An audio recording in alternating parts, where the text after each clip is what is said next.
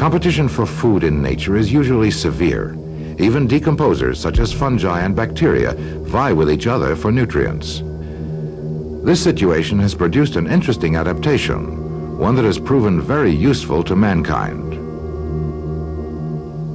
Staphylococcus epidermidis is a bacterium which can be easily cultured on nutrient agar.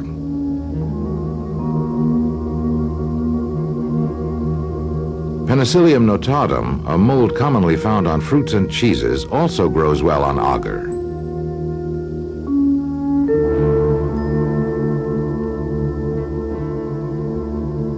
How will the two species behave in competition? If the agar is inoculated with the bacterium and a bit of penicillium is placed in the center, this is the result. There is a clear zone surrounding the growing penicillium colony. The multiplication of the bacterium has been inhibited by a substance produced by the mold, the antibiotic penicillin. In nature, the production of antibiotics allows molds to stake out a territory in which to grow and reproduce. By irradiating cultures of penicillium with ultraviolet radiation, mutant varieties have been developed which produce significantly greater quantities of penicillin for use as medicine. Here, a high yield mutant is compared against a wild type variety of penicillium. The classification of fungi is based upon the methods used for spore production. We have been looking at the phycomycetes, a group of fungi which produce spores in a sporangium. Other fungi, the basidiomycetes, use a different method of spore production.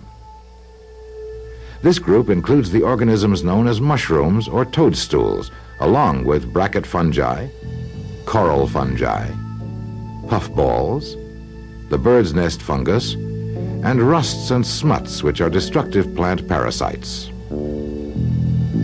The visible mushroom is but a short stage in the life cycle of these large basidiomycetes.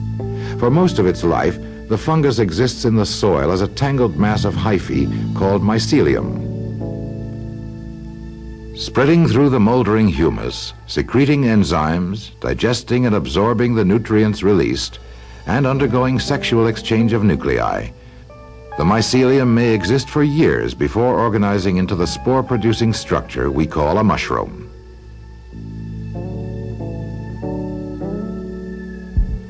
If a mushroom cap is sectioned, the spore-bearing areas can be seen lining the surface of the lamellae, or gills as they are often called. The spores are produced on a club-shaped basidium, which is the spore-bearing structure which gives the group its name. When mature, the spores are fired into the air spaces between the gills and rain down for dispersal by wind. A spore print gives an idea of the vast number of spores which are produced in a six-hour period.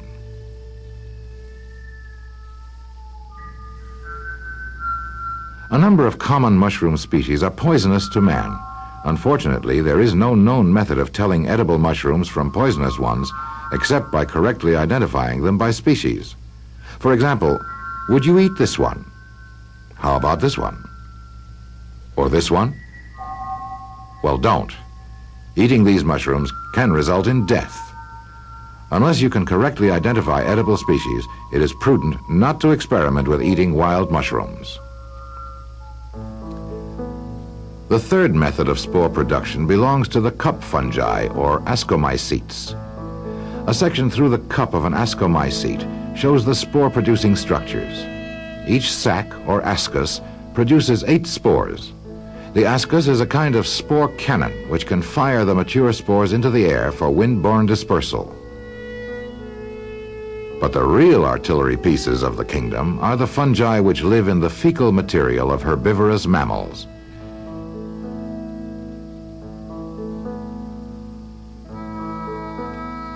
Order to be assured of germinating in manure, fecal fungi must find ways to optimize their chances of getting their spores into the animal's food. This species produces a ball of spores. Responding to light, the cannon is aimed. Osmotic pressure builds up, and with a pop, the spore ball is hurled a meter or more beyond the home manure pile. Sticking to a blade of grass, the spores have an excellent chance of being ingested by a grazing animal. We have examined fungi from three main groups. The phycomycetes, which produce spores in a sporangium, the basidiomycetes, which produce spores on a basidium, and the ascomycetes, which produce spores in a sac-like ascus.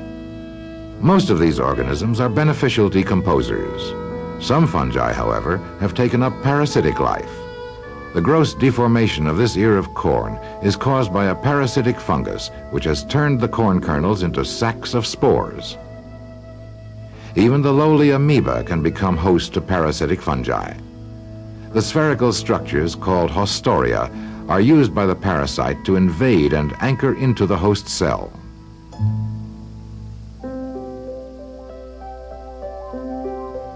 Fungal organisms have evidently been around for a long time. However, their origin is obscure since most fungi are soft-bodied and leave no conclusive fossil record. There is one group of contemporary life forms which offers a clue to the mystery of fungi origin. These are the slime molds, organisms which have at times been classified as fungi and at other times as protists. In this stage of its life cycle, the slime mold is motile, flowing over the surface of the log, feeding on bacteria and bits of decomposing material.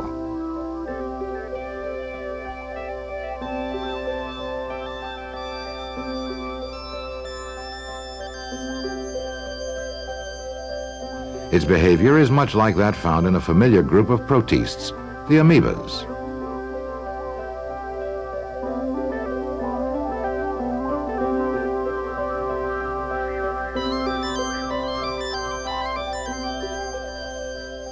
Slime molds, however, have undeniably fungal-like characteristics.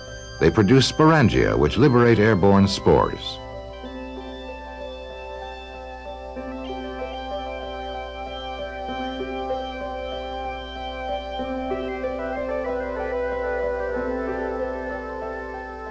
Since they have characteristics in common with both protists and fungi, the slime molds may represent an evolutionary link between these two major divisions of life. The kingdom fungi, including the organisms which produce our antibiotics, useful food items with proper caution, agents of spoilage, and parasites. But far overshadowing these human interests, the fungi fill a vital niche in the ecology of our planet the recycling through decomposition of nutrients in the living world.